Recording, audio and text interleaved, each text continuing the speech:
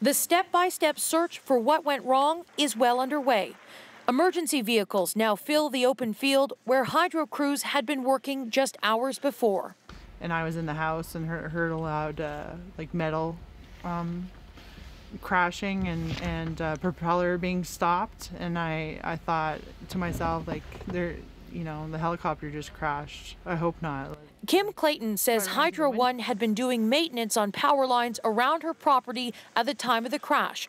She says it took about 15 minutes for the first emergency responders to arrive. I saw them go into the ambulance and nobody was leaving. I pieced it together that those guys weren't um, didn't make it.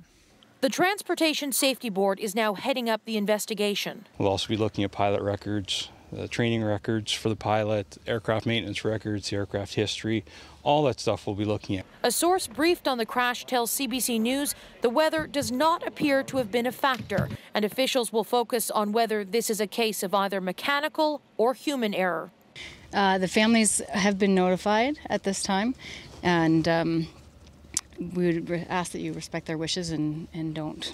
We're not releasing the names at this time out of respect to the victims. All of the victims worked for Hydro One, which is now trying to offer whatever comfort it can to their loved ones. We're in the midst of the investigation. Investigative bodies are on the scene, and we're working diligently right now to ensure we have appropriate support for our team members that have worked with these individuals, in, in addition to supporting the families. You can see police are still here protecting the crash site. They'll stay through the overnight hours, even though there isn't much investigating they can do until first light tomorrow. Katie Simpson, CBC News, Flinton, Ontario.